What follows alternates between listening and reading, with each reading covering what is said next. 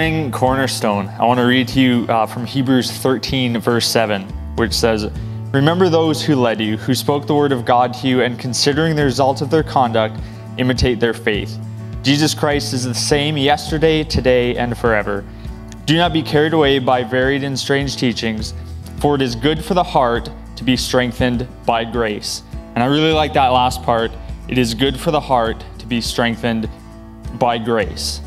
And I'm excited to be strengthened with you this morning, to be strengthened through the worship, through the preaching, through communion, and everything else that we get to share together this morning. I'm excited about it. So let's just pray that God would be a part of all of those things, and, and then we'll get to it. So, God, thank you for the worship. Thank you for the word that you've given Dan and all the preparation that that you've gone before and, and that you've prepared our hearts, you prepared our minds, you've gotten us ready for this morning.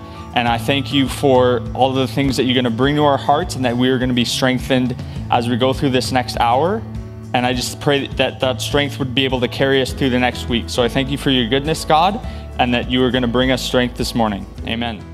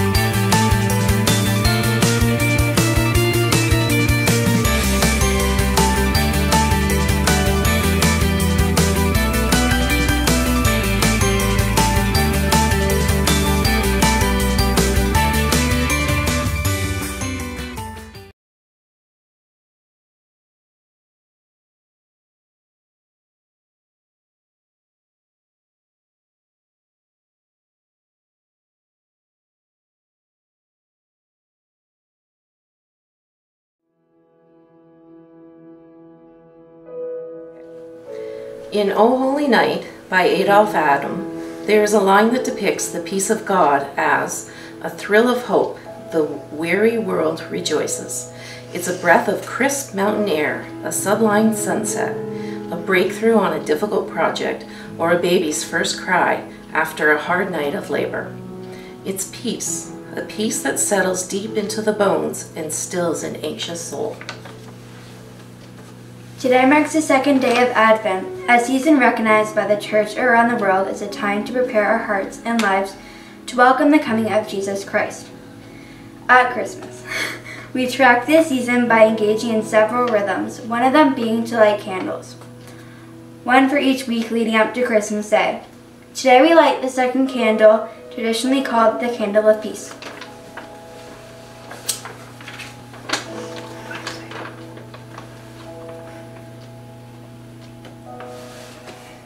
Isaiah 9 verse 6 is a popular scripture used in Advent. For unto us a children is born, to us a son is given, and the government will be on his shoulders. And he will be called Wonderful Counselor, Mighty God, Everlasting Father, Prince of Peace. Jesus is the child uh, born to us with the internal the government of heaven on his shoulders as his responsibility.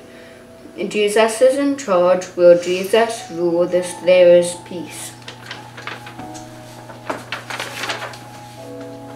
Please pray with me. Jesus, our peace, be near us when our lives seem far from peaceful. Assure us of your presence with us. We need you, Holy Spirit, and we cry out to you for help. Be our gentle shepherd, our wise king, and the peace of our hearts, we pray. Amen. Amen. You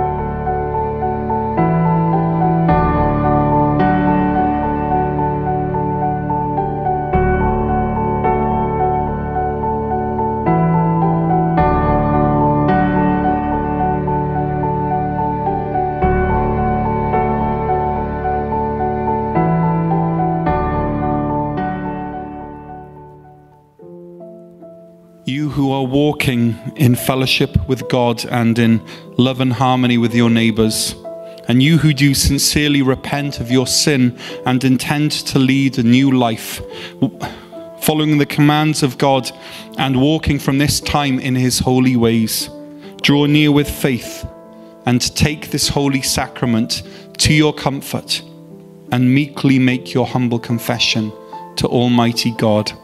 He's listening. Let's tell him what he already knows. If there's anything that, any sin, anything, anything um, unconfessed that you need to tell him, now is your opportunity. Let's have a moment of silence.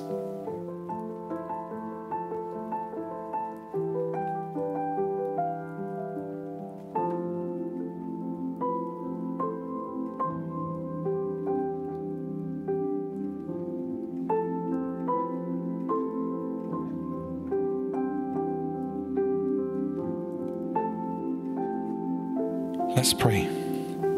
O God of grace and mercy, we thank you that you ever loved us and provided for our redemption. We thank you for your Son who died to save us and for your Spirit who invites us to draw near. Lead us now as we commemorate the suffering of our Lord. Help us to remember the cost of our salvation Help us to commune with you and with each other. And so consecrate the bread and the cup which are here prepared. so that as we partake of them, we may receive the spiritual benefits of Christ's broken body and shed blood. In his name we pray.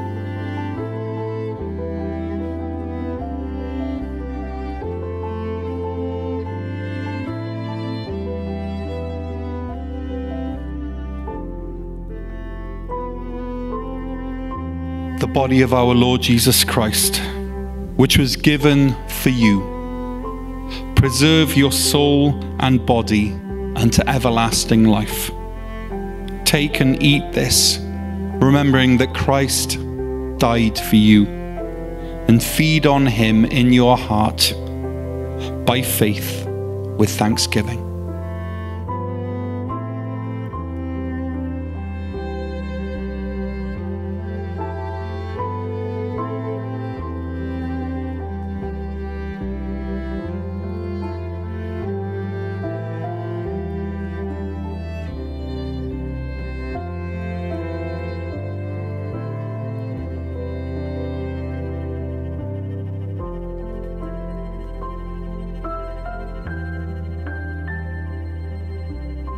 Blood of our Lord Jesus Christ, which was shed for you, preserve your soul and body unto everlasting life.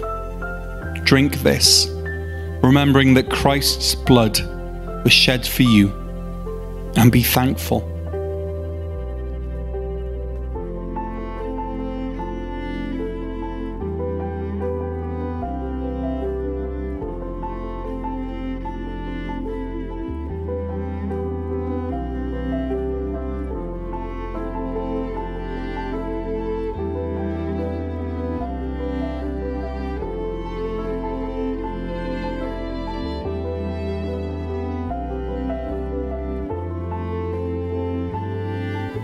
The peace of God, which passes all understanding, keep your hearts and minds in the knowledge and love of God and of His Son, Jesus Christ our Lord, and the blessings of God Almighty, the Father, Son, and Holy Spirit be among you and remain with you always. Amen.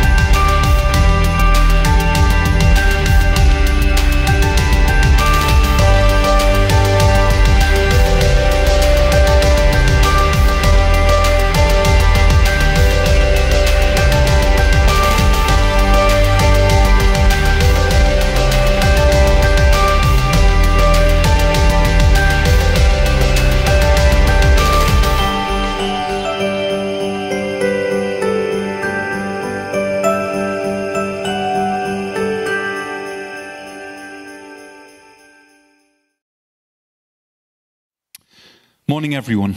Last week we lit the Advent candle of hope, and in the sermon we said that uh, that biblical hope is refusing to lose ourselves in the in the twin false hopes of nostalgia and noise, but instead uh, we learnt to embrace repentance going into the desert of Isaiah 40, hearing the voice of the Holy Spirit, and starting to build a highway of hope that God can come into our hearts with. And, and, and actually, over this past week, I've tried to take God's word seriously. I've made some changes in my life. I've locked some uh, apps on my phone that. Um, that that often lead to uh, to time wasting and uh, and actually, only Wendy has the unlock passcode. And I've realized how much time these apps can suck out of my life, how much energy they use, and how Satan can use them to lead me into a place of complacency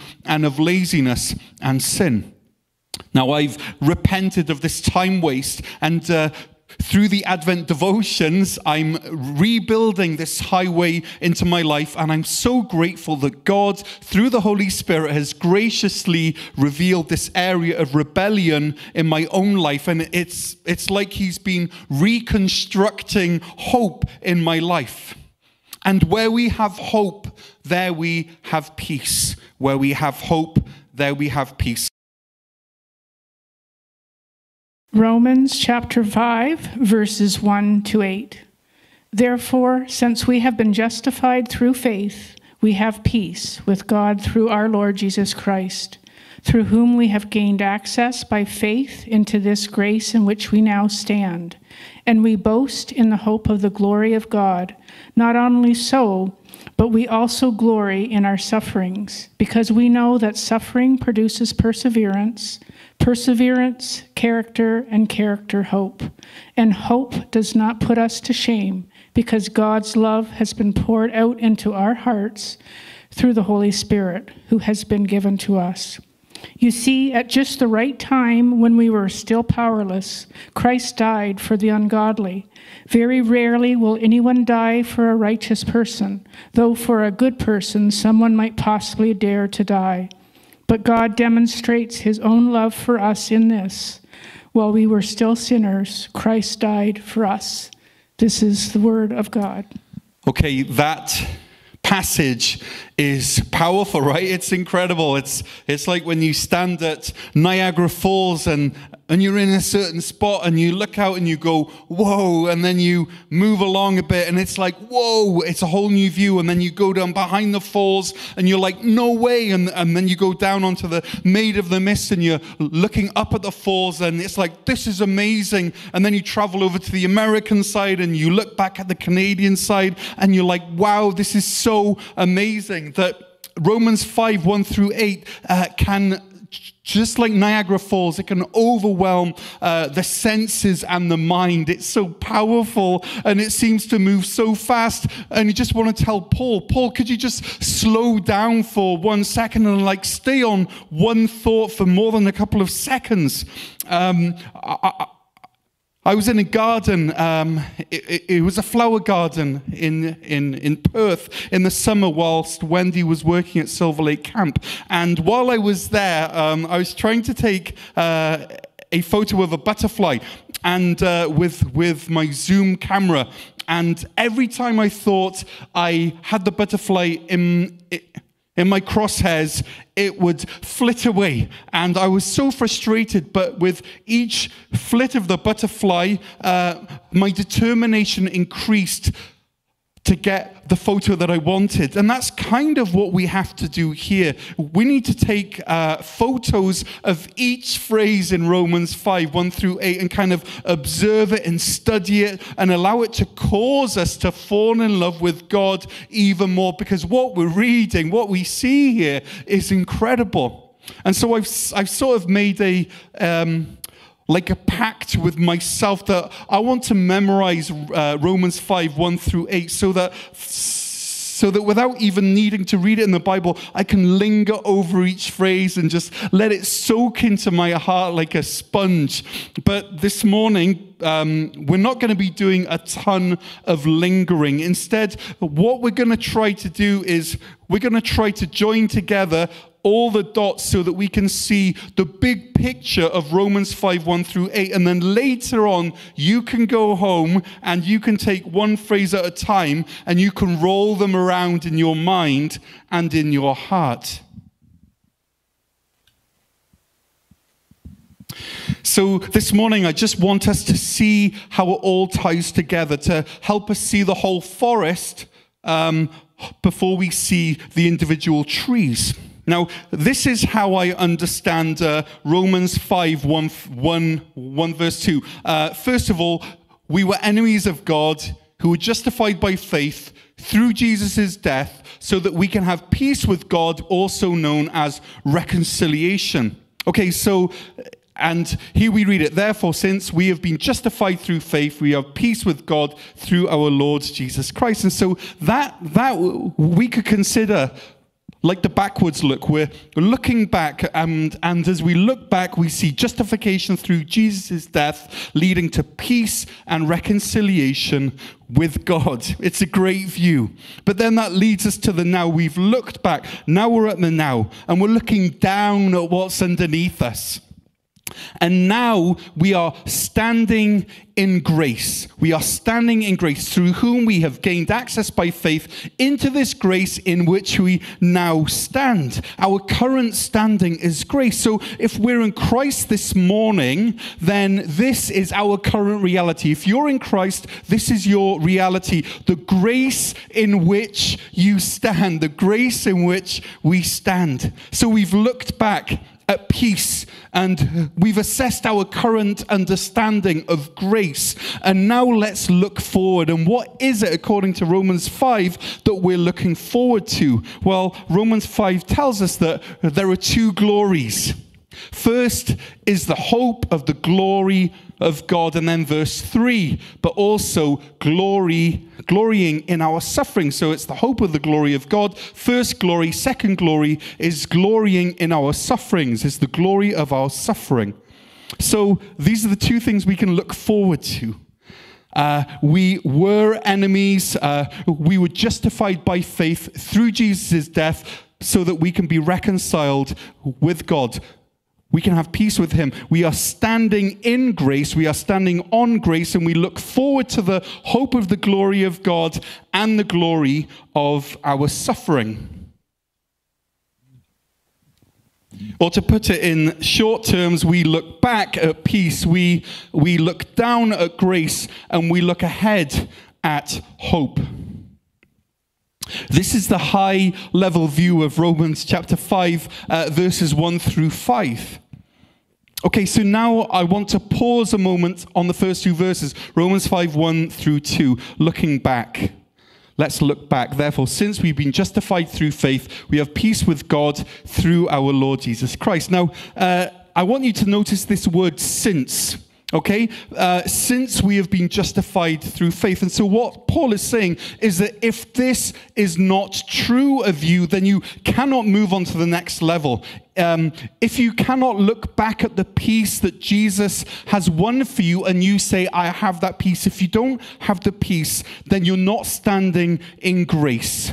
You need faith that what Jesus did and achieved on the cross has been applied to your life, that his righteousness, that his holiness, that his, his absolute perfection is now yours uh, because your sins became his. Friends, if this isn't your reality, then you need to be reconciled. If you've never trusted Jesus for salvation, then, then, then I ask you now, actually, if you're watching this online, uh, is to stop listening to the message and to go get reconciled with God, for you to go and get right with Him. Because none of the rest of the message actually makes any sense if you haven't done this first. Okay, let's continue. Now, I've lived in Canada long enough to know that it's absolutely vital that you have the right winter clothes, right? in this fair country, I realized that every person needs multiple wardrobes. One wardrobe isn't enough. You need multiple wardrobes, and you change them as the seasons uh, as the seasons go on. Like Wendy's, Wendy's come home in the past with a coat, and she said to me, "This is a good fall coat. This is a good fall coat, Dan." And she, uh, what she's saying to me in that moment is that this coat's usability starts from when summer is over and it stops being useful when the first snow of winter comes. She literally has a coat for, I don't know, something like six weeks or for two months. And then she needs a different coat. And she's not the only one, right? I have a fall coat as well. In fact, I have two fall coats. And then I need a winter coat. Actually, last winter was the first winter um, I got myself a proper winter coat, and I love it. And I noticed the difference. But that's not the first time I realized the importance of uh, winter wear. You see, uh, the first time was when I went four wheeling with my mate Jeff on the Rideau River in the cold of winter, and I was wearing gloves that would probably be fine for a Welsh winter, but not a Canadian winter. And so, for um, an hour long ride along the this uh, frozen river, I was silently suffering. And in the end, I, I, I fessed up, and Jeff lent me one of the two pairs of warm Canada proof, Canada proof gloves that he was wearing. So I realized that was when I first realized that winter wear and the proper winter wear is important. And the other time that I realized it was uh, years ago when I was actually taking out um, our Christmas tree after Christmas and I was taking it out to the side of the road and I was wearing uh, wellies, I was wearing rubber boots uh, because I thought that those are fine. And we we had just had freezing rain, I think it was. Um, and then these Walmart value wellies uh, clearly had zero traction because it was not long before I ended up with my bum over my bonds, with my head over heels on the ground with a sore foot. And then I went inside, I removed my welly, my boot, and I realized why I had a sore foot because my big toe was crossed over my other toes like 90 degrees. It was pretty hideous looking. I was wearing the wrong footwear.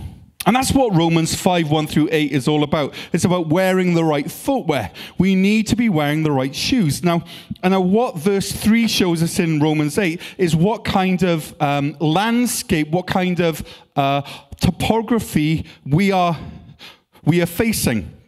So, verse 3 not only so, but we also glory in our sufferings. Sufferings, that is the terrain that we're looking at, friends sufferings. Paul isn't waffling here. He doesn't try to spin some sort of a, some sort of a positive outlook. He assumes that we all suffer. Now, suffering, as we know, means pain, and suffering means hurt. And we, you know, so we use phrases like ease her suffering or to end his suffering. You know, that suffering is something that we instinctually want to get out of or we want to rescue people from. You know, uh, but Maybe then on the other side of the coin, if we're angry with someone, um, we might say something like, I just want to see him suffer for what he did to me.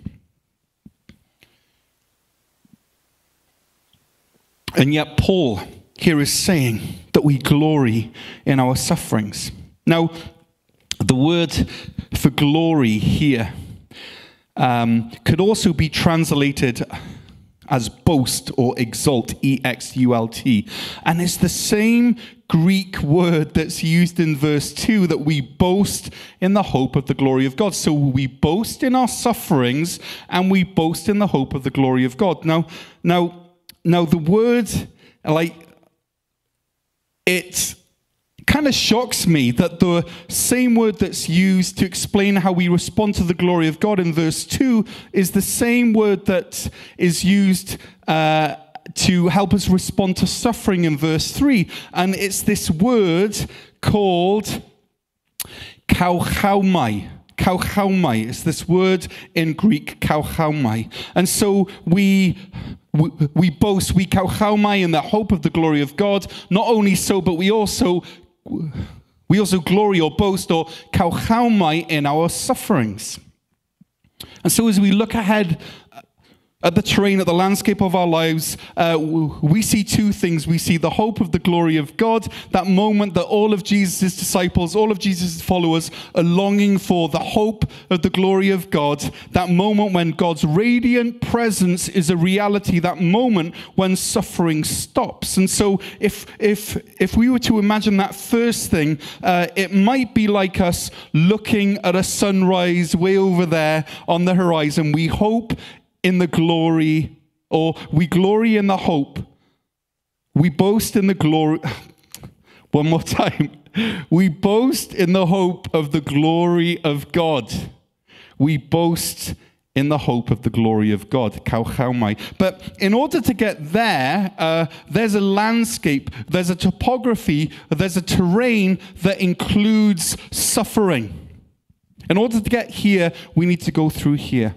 So, for us to get to the hope of the glory of God at the end of our life, we need to pass through suffering, the loss of friends and the loss of jobs and the loss of loved ones, being misunderstood, relational breakdown, having to choose God over success, having to choose God over popularity, having to say no to opportunities, saying no to sin, saying no to those things that we know will hurt ourselves, will hurt God. Um, or will hurt others. Uh, you know, um, losing our reputation for Christ, losing our comfortable lives, losing our jobs for Christ, even losing our lives for Christ. This is all suffering. This, uh, yeah, this is all that. And so life is, in a very real way, suffering. And so, for us to get to the sunrise of the hope of the glory of God, we must walk through the valleys of the shadow of death, uh, through the valley of the shadow of suffering, of hardship, of self denial, of learning how to go without. There's no way to get here to the hope of the glory of God except to pass through suffering. And yet, Paul says that just as we can kauchaomai the hope of the glory of God, we can kauchaomai in suffering.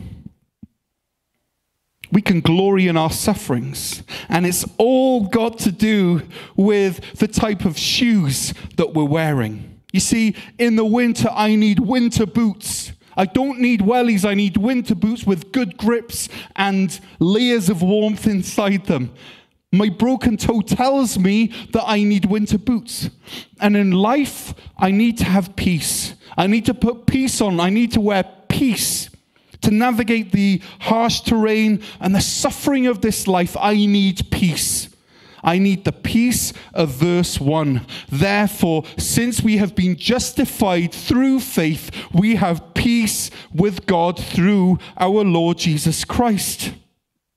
Friends, you endure, to endure suffering, to endure suffering, you need to know that you have peace with God through our Lord Jesus Christ in verse 1.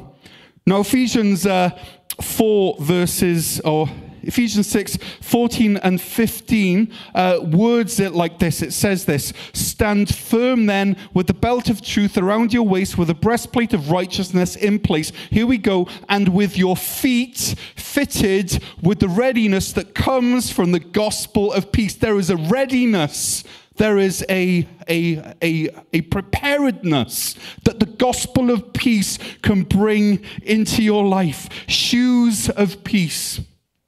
Friends, it's only as you know through faith that you're reconciled to God, that things are right with God through Jesus Christ, that you can have the assurance that you're standing in grace, like verse 2 tells us.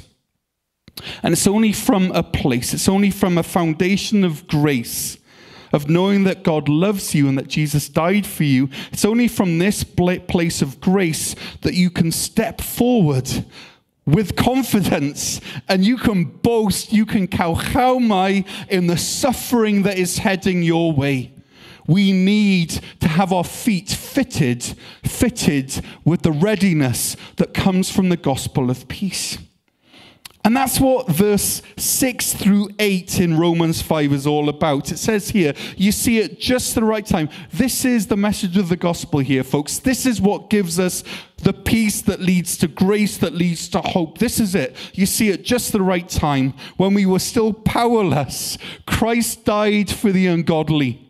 Very rarely will anyone die for a righteous person, though for a good person, someone might possibly dare to die. You know, he is a righteous person, he is a good person, he is a noble person, someone that you might like and respect.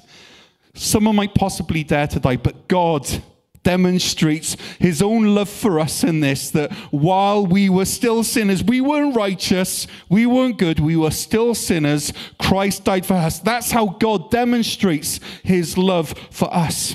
And so we look back and we see that God was so committed to our restoration, to our reconciliation, to our redemption, that he went way above and beyond what anyone would have expected. He didn't die for righteous people. He didn't die for good people. No, he died at just the right time. When we were powerless, when we were still powerless, when we were still sinners. He didn't wait for us to clean up our act or to put on a good shirt or to try to prove how worthy we were. No, Jesus went down into that filthy pit and he lived there and he died there. And his death created a stairway out of that pit of sin and into the grace in which we now stand. And friends, it's only when we look at where we were it's only when we recognize from where God has rescued us, where from where he's lifted us up, that we can look up at the mountains in our lives and we can say suffering may be ahead. But I trust my God who suffered for me and who lifted me out of the pit from where I was. Friends, the depths from which Christ has rescued us are incredible. We have no way to understand what it meant for Jesus to humble himself and become human and live among us and for him to die for us. But, but even though we can't understand it, we can try to explain it. And Paul in Philippians chapter 2, verse 6 tries to help us understand. Listen to these words. Jesus, being in very nature God, did not consider equality with God something to be used to his own advantage. He didn't do that. Rather, he made himself, here, here, we go, this is, this is his condescension. This is him, him lowering himself. He made himself nothing by taking the very nature of a servant, being made in human likeness, going down and down and down, and being found in appearance as a man. He, once again, he humbled himself by becoming becoming obedient to death. And not only death, even death on a cross. He, he, he, uh, he had the reputation of a criminal. He had the reputation of someone who was no good. He started up here and he ended up down here. And while he was down here, he lifted us up to here. This grace in which we stand, this grace in which we now stand. And it's from this place of grace in which we stand that we know that we can boast, that we can kauchaomai in the hope of the glory of God, knowing that our ultimate destination is where Jesus currently is. He was here, then he was here, now he's here again, and that is our hope. Therefore, God exalted him to the highest place and gave them the name that is above every name, that at the name of Jesus every knee should bow in heaven, in heaven and on earth and under the earth, and every tongue acknowledge that Jesus Christ is Lord to the glory of God the Father. Uh, friends, this is our destination. Jesus in the highest place, the hope of the glory of God. And knowing that, that this is our hope, this is what enables us to kauchaomai, to boast in our sufferings. Why? Because it's through our suffering that we get there. It's through our suffering that God continues to transform us. It's through our suffering that God does work in our lives, that God sanctifies us. He, he sanctifies us through our suffering. Listen to verse 2 and 3 of Romans 5, and we boast. We boast in the hope of the glory of God. Not only so, but we also boast, we glory, in our suffering. And why is that? Here's the answer because we know that suffering produces perseverance, perseverance, character, and character, hope. There it is again, that word hope. Glorying or boasting in the hope of the glory of God. This hope. Friends, the Bible is clear that suffering is a part of life. There's no way to get away from it. It, and it's, it's, and it's actually one of the main ways that God, in His wisdom, uses to hone us, to mature us, to, to, to create this piece of art that He's working on. It's through suffering that we learn perseverance. There's no other way to learn perseverance except through suffering. You do not learn, learn perseverance through easy street. And it's through, it's through perseverance that we develop character, that we become fully formed, 3D, empathetic individuals, human beings who care for each other and love each other and come alongside each other. It's through suffering that leads to perseverance, that leads to character, that leads to hope. You show me a Christian who has suffered, and I will show you a person who's learnt perseverance, who, who has character, and because they have character and they're growing in Christ likeness, according to verse 4, that person has hope. Hope is not the absence of suffering. Hope is only found through suffering. You see the connection here, friends, that we boast in the hope of the glory of God and we boast in our sufferings because it's through our sufferings that we arrive at that hope. And as verse 5 tells us, hope does not put us to shame. This is not a silly hope or a weak hope or a frail hope. It's not a wishful thinking hope or a I hope for the best. No, this is a hope that does not put us to shame. It's a hope that we can be proud of. It's a hope that we can glory in, that we can in, that we can boast in. Why is that? Why is this a hope that does not put us to shame? Verse 5 tells us because God's love has been poured out into our hearts through the Holy Spirit who has been given to us. This verse, verse 5 says that we never, ever walk the path of suffering alone. We have God in us. We, ha- we, we have God as our past peace, and we have God as our current place of grace, and we have God as our future of hope, and God is our companion as we travel there. So we, we look back at peace, we stand in grace, and we move forward in hope and we're indwelt by the Holy Spirit, who is God's love poured out into our hearts. So, friends, I don't know what you're going through right now. I really don't know. I cannot read your mind, but I suspect, like our theme, that, that you are weary. I don't know the trials that you face. I don't know that what the doubts are that you're dealing with. I don't know the depression that ravages you, or the arrows from Satan which are afflicting you, or the debt that threatens to overwhelm you, or the loneliness that lockdown has brought upon you. I don't know any of this, but what I do know is that on some level, you are suffering. And so I invite you not to stop suffering. But I, I invite you to invite God into your suffering. I invite you to fit your feet with the readiness of the gospel of peace. I invite you to place your trust in Jesus if you never have, and to allow Him to lift you by faith into this place of grace in which you can stand and know that you're reconciled to God. And from this place of grace, you can look back and see where Jesus has lifted you from. And you can remind yourself of God's character, his love, his track record, his who he is, his attributes. You can look back, but you don't just look back, you also look down and you see the grace on which you currently stand. You feel it firm under your feet. You know that it's not going to move. You feel the confidence that God's present grace brings into your life.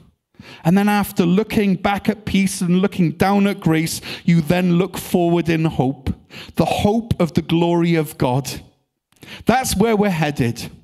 And I, and, and I ask you to boast in the hope of the glory of God. And then, with the Holy Spirit indwelling you, communicating God's love to you, um, I, I, why don't we step forward? into the sufferings that await, and we can glory in those sufferings because we know that suffering produces perseverance, that perseverance produces character, and that character produces hope. And we can look forward in hope because we stand on grace. And we can stand on grace because we look back at peace. We're wearing the right footwear for the right season. This season is suffering, but our shoes are peace. We are fitted with the readiness that comes from the gospel of peace. These shoes, they, they will give us sure footing. They give us confidence in the Lord that we're reconciled to Him, that we're standing in grace, that we're filled with the Holy Spirit and we're ready for the hope that comes from character, the character that comes from perseverance, and the perseverance that comes from suffering. Let's pray. Lord, this is a hard passage, but a hopeful passage.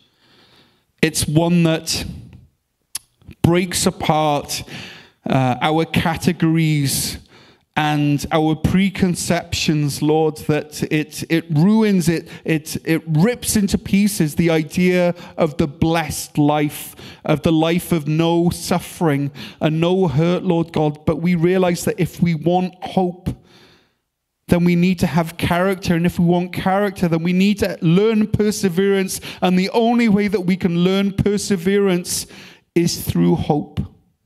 But Lord, we do not hope in vain.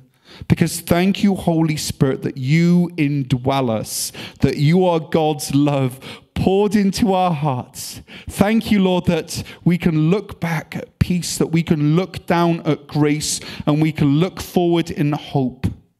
Jesus, you are such a good God. And we thank you for all that you have done all of the grace and the peace and the hope that you've poured into our hearts in abundance, Lord. Help us to realize it afresh. Help us to glory in the, in the message of the gospel. Help us to glory in the hope that we have in you. We ask this in the name of the Father and the Son, Jesus Christ, and the Holy Spirit. Amen.